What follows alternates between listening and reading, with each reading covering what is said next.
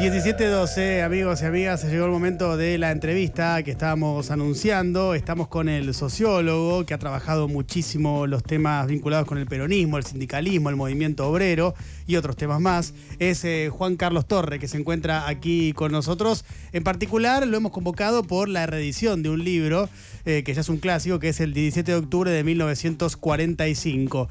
Juan Carlos, ¿cómo te vas? Bienvenido.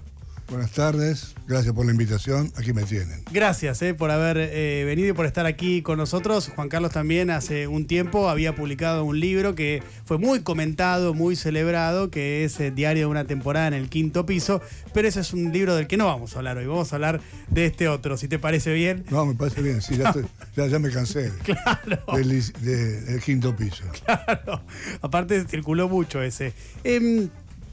Em, ese 17 de octubre de 1945, vamos a arrancar primero por el día, después te quiero preguntar sobre algunas apreciaciones en general de lo que sucedió o cómo cambió la historia a partir de ese día. Pero ese día en particular, eh, Perón, ¿cómo fue ese día de Perón?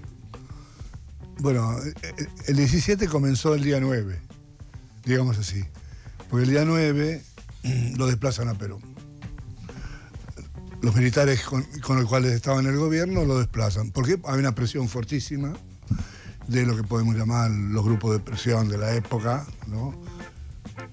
Y lo desplazan a Perón. Y ahí comienza una secuencia que va a ser cada vez más vertiginosa. Reveladora de la, la confusión que había en el momento. Lo desplazan a Perón, sí, pero Perón consigue del presidente, en realidad era una persona que lo acompañaba él, el presidente Farrell, si puede despedirse de los trabajadores. Escúcheme, lo acaban de echar y pide, y pide la Radio Nacional. Y le dan la Radio Nacional, ¿no? Perón en la Radio Nacional dice, ha llegado un momento, no dice nada acerca de los desplazados. Llego hasta acá. Ya he hecho una obra. Dejo en ustedes, los trabajadores, la tarea de continuar. Y Dos días después, ya eh, quienes nos habían desplazado del poder dicen, no, esto no puede seguir así, hay que ponerlo preso. Y lo ponen preso y lo mandan a Martín García. Los dirigentes sindicales que están en esa época lo han acompañado pero mucho tiempo, ¿no? Van y preguntan, ¿cómo puede ser? ¿Está preso? No, no está preso para nada, escúcheme, compañero. Él dice el general Ábalos. Hay una persona, se va a muy importante, general Ábalos. No, lo, hemos, lo, tenemos guardado porque puede haber un atentado contra él. Lo, lo, estaban cuidando. Lo estaban cuidando. Claro. No se sabe si era verdad o no, pero en todo caso, lo tenía Martín García. La idea de que la tarea es de, ellos, que es el mensaje de Perón del día 10 u 11, efectivamente cae en el mundo sindical. Estaban todos inquietos. Eh, el mundo sindical, el mundo sindical de la época que no era muy potente, pero existía. Y comienza a correrse la bola. Sí, lo han sacado Perón, ¿cómo puede ser? Y esa idea comienza a circular, comienza a circular, comienza a circular. Y cuando los trabajadores en general, los gremios en particular, cobran conciencia de eso, hay que hacer algo. Hay que hacer algo. Y comienza a montarse una, una movilización. ¿bien? Va a tener un hito esta, este operativo, que es el 16 de octubre. Porque se reúnen las autoridades máximas de la CGT, que no era tan poderosa en esa época, pero se reúnen. ¿Qué, qué, hay que hacer? Entonces, hay dos posiciones. La Unión Ferroviaria, que era el sindicato más fuerte de la época, no, no olvidemos que todavía el impacto de la industrialización no se ha traducido en sindicatos industriales fuertes. Tenemos Unión Ferroviaria, que es el sindicato fuerte de la Argentina agroexportadora, claro las vacas y los trigos circulaban por el ferrocarril, por eso es más importante. Entonces, la Unión Ferroviaria quería un sindicato consolidado, no hagamos cosas raras, no vamos a arrepentir, tenemos una comunicación con el gobierno, no lo interrumpamos. Posición, no hacer nada. Hay que ver cómo evolucionan los acontecimientos. Segunda posición, no, hay que hacer algo. No podemos quedar de brazos cruzados, hay que hacer algo. Y hay un debate ahí, un debate que yo pude reconstruir afortunadamente. Perdón, Juan Carlos, te tengo un segundo. ¿Y, quién eh, expone la otra posición? Los nombres ahora ah, no los tengo en la cabeza, lo siento mucho. Esa es una investigación que hace muchos años. Claro. Pero en todo caso, eh, la Unión Ferroviaria es digamos, el portavoz, es decir, la quietista y la, otra posición, ¿no? Hay un hombre que aparece todo el tiempo, que es Libertario Ferrari, que, es un hombre de forja, de, una tradición sindical, pero también radical izquierda. Él va a estar ahí. Pero hay un debate ahí, hay un debate. Y hay, que votar. ¿Qué hacemos? Hay una moción que es, hacemos una huelga el día 18. Estamos el 16, a la noche. Eh, y hay una oposición que dice no. Wait and see, como diríamos. Aguantemos. Y se, dirime esa votación, 16 a favor, 11 en contra. Ojo, no es 10 a 1. 11 en contra, 16 a favor.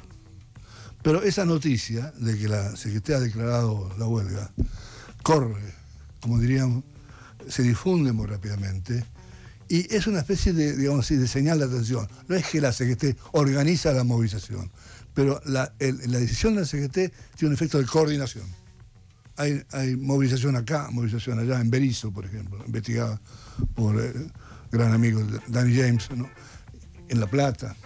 Entonces, la decisión de hacer la huelga ¿no? es una decisión eh, que significa coordinación. Pero no es, ¿qué pasa con Perón? No? ¿Dónde, lo tenemos? No, Perón lo tenemos en Martín García, es jurisdicción de la Marina. Lo último que quiere un, hombre del ejército está bajo la jurisdicción de la Marina, haciendo mucho. Entonces se las arregla, Perón dice, tengo un problema, estoy enfermo, me puedo trasladar al hospital militar y me lo trasladan al hospital militar. Entonces, está ahí, ahí en Luis María Campos, ya el día 16, 17 ya hay gente en torno al hospital militar. En todo caso, se lanza la movilización. Esa movilización va a durar. Pero yo quiero mencionar un hecho que siempre le di importancia. ¿Cuál es? El hombre fuerte de, este operativo se llama General Ábalos. Era el jefe de Campo de Mayo. Lo desplaza Perón y él está él a cargo del gobierno porque el, presidente es una figurita. Entonces está el general Ábalos en en la Casa Rosada y le hicieron un llamado el día 17. Mi general, ¿quiénes? Los oficiales que habían dejado el Campo de Mayo. Veo gente que se está moviendo. Camino la Plaza de Mayo. Pedimos autorización. Podemos salir a poner un poco de orden. Dos puntos. A reprimir. Y este hombre, general Ábalos, dice, no, aguántese. Aguántese, yo me encargo. No pudo encargarse nada. Porque con el paso del tiempo eh, ya iba cada vez más gente, cada vez más gente, ¿no? Y a eso de las 4 de la tarde ya... Es decir, ojo, estoy hablando de que Campo de Mayo pide entrar a las 10 de la mañana, 11 de la mañana. Si le damos dos horas, Campo de Mayo, a Plaza de Mayo, a las 12, Campo de Mayo está en Plaza de Mayo. Es distinto ir a la Plaza de Mayo con aire festivo, porque la policía es toda peronista, pasen, pasen compañeros, pasen compañeros, a otra que, che, escúchame, en la Plaza de Mayo están los militares o que los militares se quedaban en Campo de Mayo, los policías le franquean el paso. Claro. Y llega la gente, llega la gente, llega la gente. O sea que esta decisión de Ábalos permitió que finalmente, involuntariamente, se realizara el 17 de octubre. E-, esa es mi idea. Claro. Tanto es así que he escrito sobre eso, ¿no? Sobre el carácter contingente de esta operación. Es decir, estamos viviendo momentos muy vertiginosos. Lo detienen a Perón, lo desplazan a Perón, lo ponen preso a Perón, lo sacan del... Eh, eh, pasan muchas cosas. En muy poco tiempo. en muy, digamos, la historia argentina se está jugando en cuatro días. ¿Y Perón sabía qué iba a decir ese día?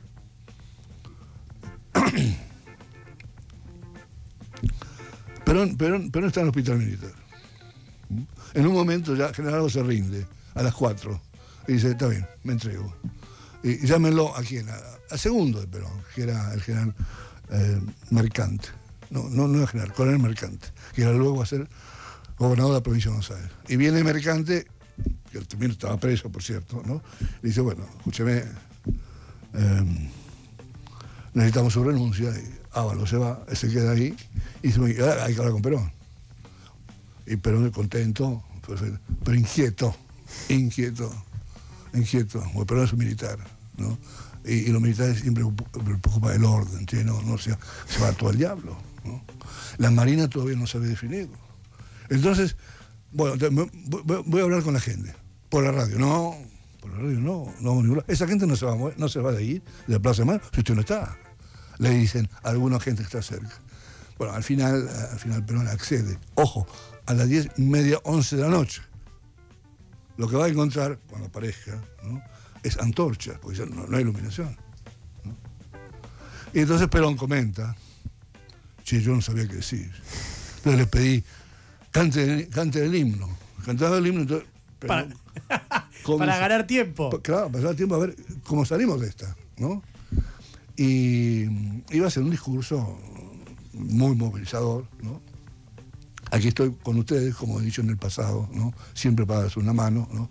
Vamos adelante, punto, ¿no? Y después hay una escena, en la última frase es interesante, porque hacemos un, un zoom sobre ese momento. Les pido por favor, dice Perón en la última frase, un minuto, eh, diez minutos más que se queden, quiero contemplar el espectáculo desde acá.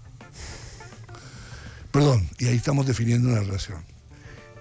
Él arriba, en la el, balcón de la Plaza de Mayo y la gente en la calle. Es la relación entre el líder y la masa. Quiero verlo desde acá.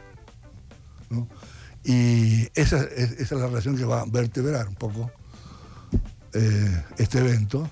Y este evento va a ser un corte, porque ahí nace el peronismo.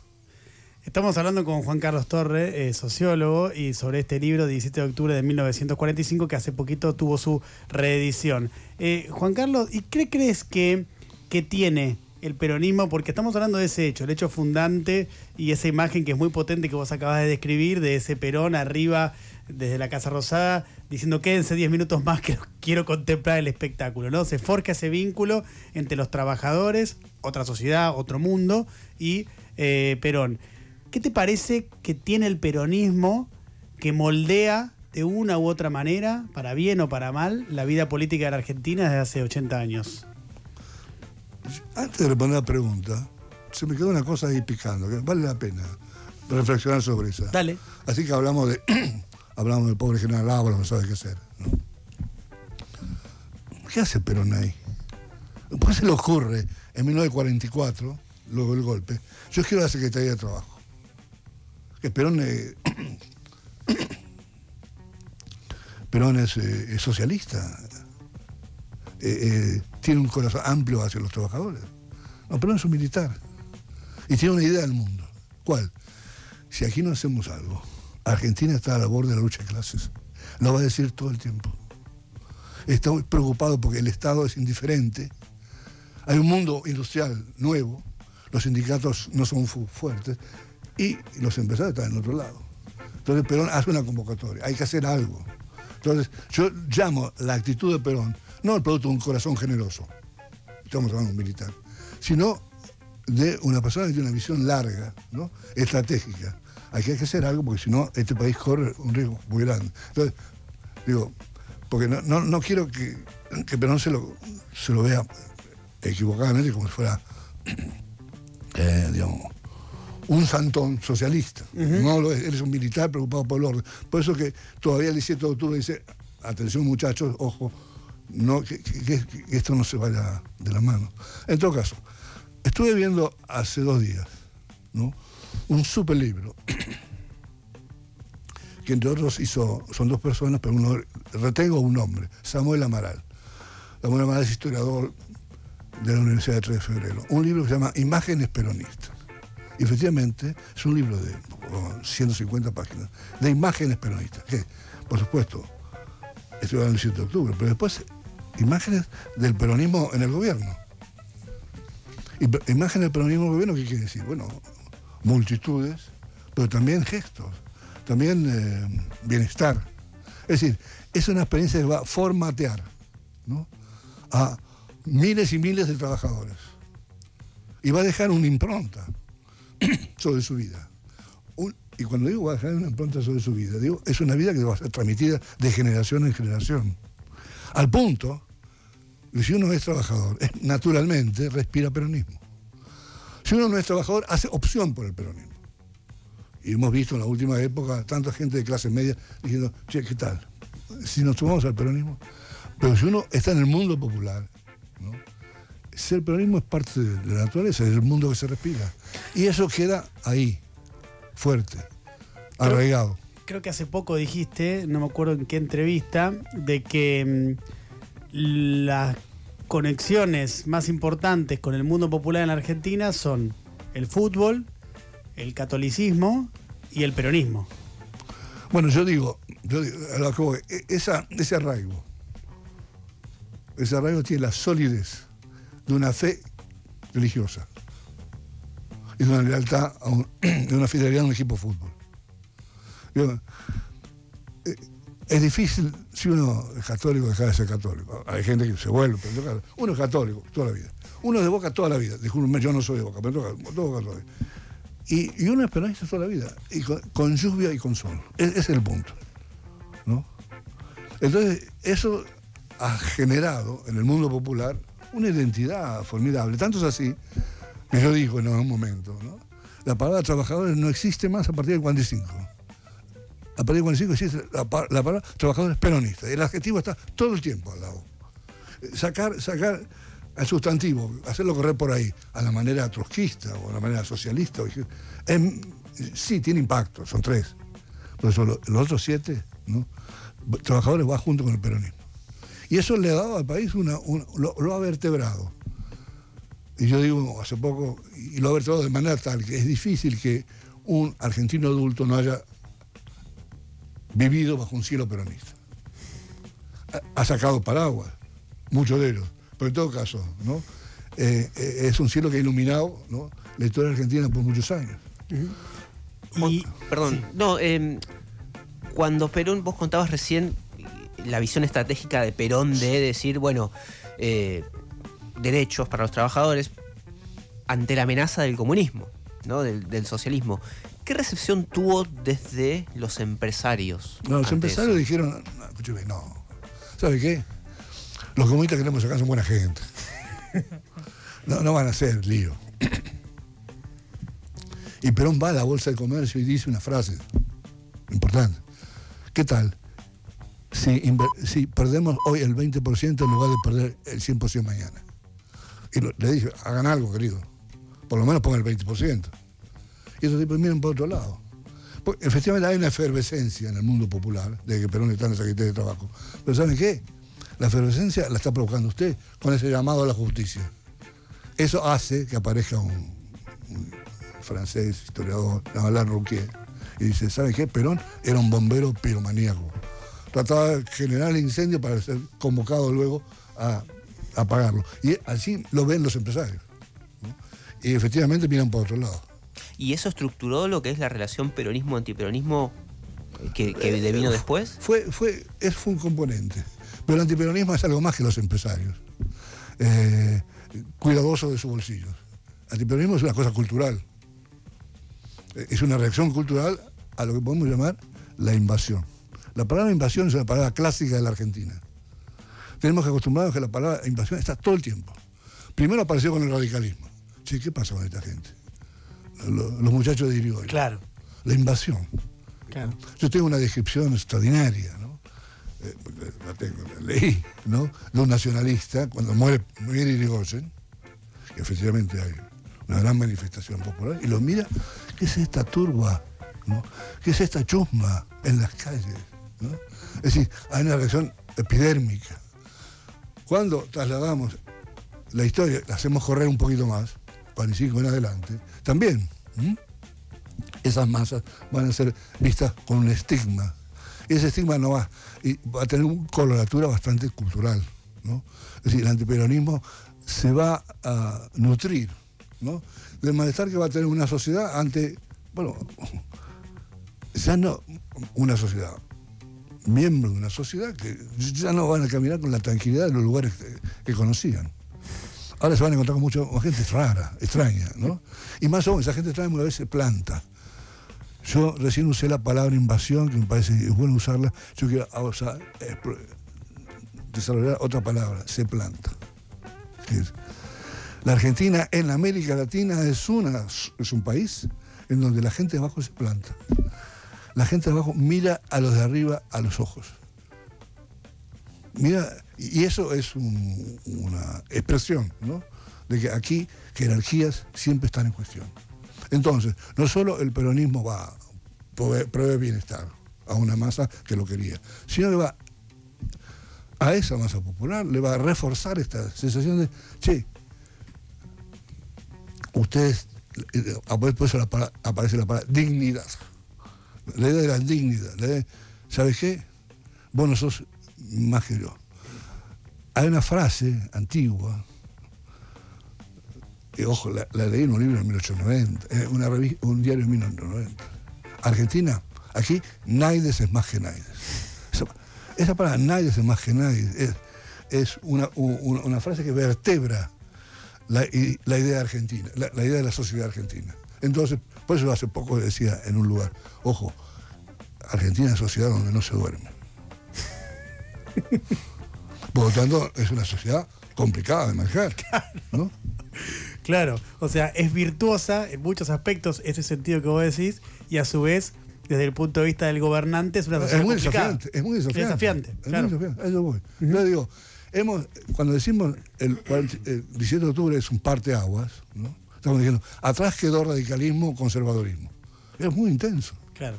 Una puja, si, después peronismo, antiperonismo, se parece en su intensidad a aquella otra, ¿no? radicales y versus conservadores. Ahora, significó eso y significó esta, esta idea de una sociedad movilizada. Eh, Juan Carlos, me quedé en la, en la foto de Perón en el balcón pidiéndole que se queden 10 minutos que los quería ver. Y me, me interesa el capítulo siguiente, o sea, desde esa, de esa foto a eh, Perón en el poder. ¿Qué, ¿Qué, transcurre? ¿Cómo se ejecuta ese proceso? Perón sabe, ¿no? Líder número uno, ¿bien? Y que como tal, como parte de un, fenómeno político, ¿no? va a crear una relación directa con los trabajadores, con las masas que lo apoyan. Eh, se va a mover incómodo con la intermediación. Cuando digo intermediación, en este caso, de los sindicatos. Claro. Y durante la gestión de Perón, 45, 55, había sindicatos que se plantaron frente a las políticas. Buena parte de los sindicatos fueron intervenidos la CGT operaba con el brazo, el brazo, digamos represivo del Estado e intervenía sindicatos. La FOTIA, el sindicato de, los trabajadores tucumanos, estuvo intervenida casi 200 años Perón. Porque había gente que decía, escúcheme, todo bien con Perón, ningún problema con, la, con lealtad peronista. A la hora de votar, votaban todos peronismo. Pero a la hora de preocuparse por sus propios intereses, los trabajadores, de un modo los organizados, ¿no? Eh, se hacían escuchar. Entonces, no digo que la relación se volvió de asimétrica en simétrica, no, para nada. Pero sí ciertamente Perón creó un movimiento fortísimo, ah, que en un esquema original era una parte de una, una, coalición más amplia. Esa coalición fracasó, porque los empresarios dijeron que no, y entonces se volvieron de parte un componente complementario, se volvieron casi el pilar sobre el que descansó esto. Es un pilar que respecto de Perón siempre va a tener una atención. No olvidemos que en la década del 60 hubo un sindicalismo, Bandor, que se plantó frente a Perón. O sea, la relación entre sindicalismo y peronismo, y, Perón mejor dicho, ¿no? es una relación tensa a lo largo del Total, como la juventud maravillosa. Y después apareció la juventud maravillosa, otra gran creación de, Perón, que dijo, se plantó el primero de mayo, y dijeron, el peronismo somos nosotros, no usted. Un atrevimiento superior, ¿no? De parte de los jóvenes. Eh, pero en todo caso, dos criaturas de la gran creatividad política de Perón sobre la Argentina, el movimiento sindical y la juventud de clase media, maravillosa, digamos así, eh, un poco se le escapaban de las manos. Eh, si uno lo ve a Perón en perspectiva, es como eh, esos magos. Se les sale de la, de la botella y tiene que ponerlo todo el tiempo. Pero, no como el aprendiz de brujo. a eso Pero no va a vivir confortable con sus propias creaciones. Por cierto, el resto, el resto de los argentinos tampoco. Es Juan Carlos Torre que está con nosotros, eh, sociólogo. Estamos hablando sobre eh, la reedición de este libro ya clásico de 17 de octubre de 1945. Juan Carlos, decíamos que ese hecho fundacional, eh, que tiene mucho de componente mitológico también, que es la creación del peronismo ese 17 de octubre del 45, el peronismo sigue hasta nuestros días. Vos decías antes muy bien esto de que no hay persona adulta que de una manera u otra no haya respirado peronismo o no haya sido gobernada bajo el, eh, peronismo en algún momento de su vida. Em, ¿Crees que en esta elección el clivaje peronismo-antiperonismo sigue estando fuerte? Sí, yo creo que es un clivaje que ha sido muy fuerte y no, no, lo hemos tenido. Vamos, demos vuelta para atrás. Cuando pierde, cuando pierde el gobierno de Macri, el 19, 2019, se va con 40% de voto. 40% de voto de un gobierno que había hecho todas las cosas mal. Cuando pierde Angelos versus Menem en el año 89-90, eh, Angelos se lleva 37% de los votos. Después de la hiperinflación. Eh, eh, en el momento de la hiperinflación. Claro, durante. Entonces digo, en un momento hay gente que decide el voto, pero no en función de si, le va bien o le va mal, sino cómo se identifica, qué siente. Me, gusta la palabra se siente, porque, bueno, se siente, se siente, ¿no? Está todo el tiempo. Pero un analista, a propósito de lo que estamos diciendo, un analista muy, inteligente dijo, los peronistas se sienten peronistas, no votan peronistas meramente, no prefieren meramente eh, peronismo, sino se sienten. Y uno, de los temas que tenemos en estos días, en estos días, estos años, ¿no? Lo que estamos viendo que se está erosionando ese sentimiento. ¿Por qué? Porque hay gente que votaba siempre peronismo y un día decidió, se plantó y dijo, sí, si votamos por mi ley, ¿qué tal si votamos por mi ley? Muchos votos de mi ley, no ahora, sino lo que vimos hace poco, era gente de abajo, no, no, apenas gente acomodada, gente Totalmente, sí, es transversal el voto. Entonces yo digo, eh, una cosa me inquieta sobre el momento que estamos viendo ahora, si se ha erosionado o no erosionado, erosionado, mejor dicho, ¿no? la fortaleza de ese sentimiento. Pues, ha, habido desertores. Los hubo en el año 83. Los identificó un investigador, un, encuestólogo. Alfonsín ganó, se llevó una crema del mundo del trabajo. Algunos trabajadores especializados votaban por él. Después se dieron cuenta que no, que se habían equivocado, volvieron a, lo suyo, ¿no? Pero sentimiento. ya hubo desertores.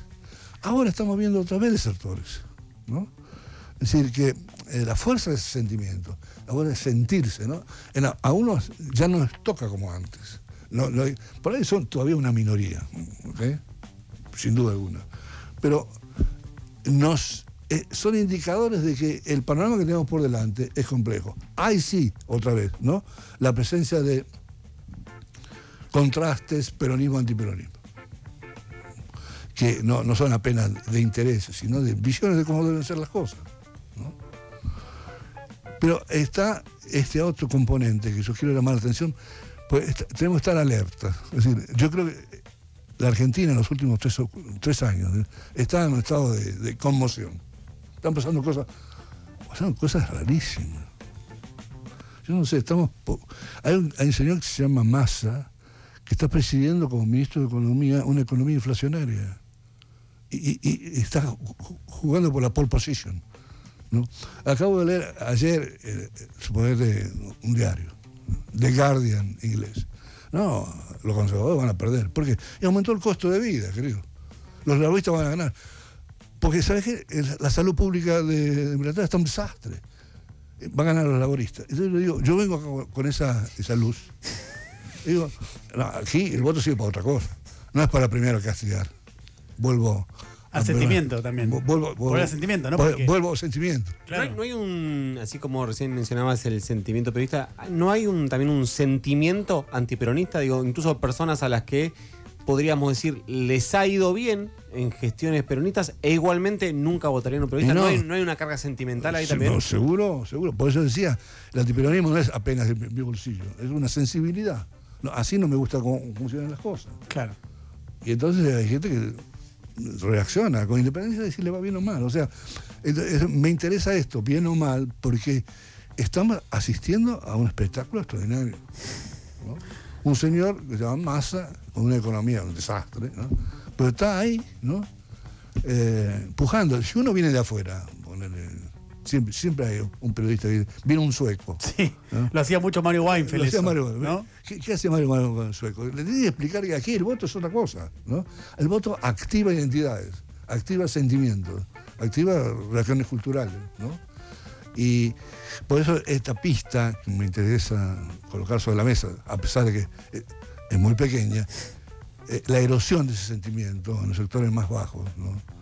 ¿Qué, puede pasar? ¿no? Puede, pero en todo caso, efectivamente, ah, yo quiero introducir una tercera eh, categoría. Están los peronistas, los antiperonistas. Para los antiperonistas, el peronismo es un hecho anómalo. No, tiene que pasar. Ellos cierran los ojos mejor, ¿cómo me gustaría que no estuviera? No existiera. Después están los no peronistas. Yo estoy en ese grupo. El peronismo es una realidad, escúchame, por favor, no puedes cerrar los ojos. Claro. Tenés que tener una convivencia, buscar una forma de convivencia, pero no puedes suprimirlo con un juego de la imaginación como está detrás del antiperonismo. El antiperonismo, el no peronismo se construyó, ¿no? en el 57, en el 58, sectores, otra vez, de la intelectualidad, de la clase media, que decían, efectivamente, aquí hubo autoritarismo, aquí hubo cercenamiento de libertades. Reparen ustedes que la oposición nunca accedió a la radio, sino hasta el último momento. Durante 10 años la oposición no pudo entrar en la radio, en la época de Perón. Pero si ponemos entre paréntesis esas cosas, aquí pasaron cosas importantes en lo que refiere a el mundo del trabajo, la dignifica. Entonces, el problema dice, eso existe ahí.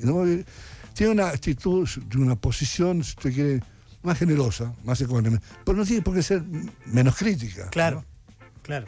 Pero en todo caso, es distinta de esa activación de ese sentimiento furibundo. Che, terminemos con esto. El problema, la, frase, terminemos con esto, está siempre al tiro. Total.